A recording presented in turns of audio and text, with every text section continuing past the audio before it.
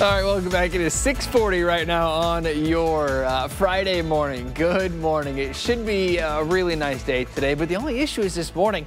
Uh, we're dealing with fog as you head out the door this morning. Um, that is somebody uh, looking up miniature horses. This is uh, Lorain looking outside. We're in the 60s as you head out the door. Why is that in the? We'll explain. You just what finished. happened to you? What in the world is? I'm sorry. We're looking at this. We're in the 60s as you head out the door this morning. 66 in Wooster. you cannot beat live TV. Uh, it's foggy outside. It's not bad in Lorain. I got a couple storms this afternoon, but again, coverage is really going to be limited.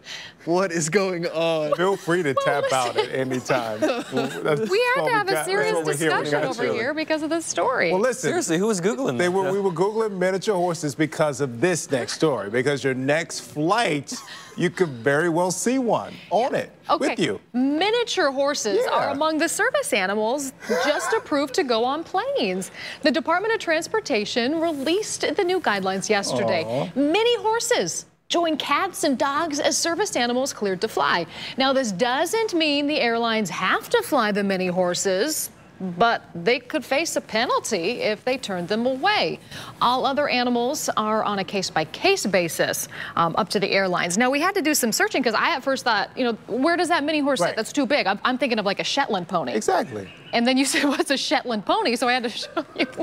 These So are they looked up smaller. These are smaller than a Shetland pony. I can't with y'all today.